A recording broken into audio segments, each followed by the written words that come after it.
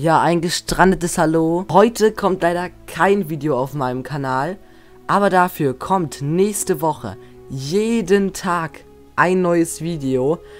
Das Ganze nennt sich die Nostalgiewoche und damit feiere ich, dass mein Kanal drei Jahre alt wird.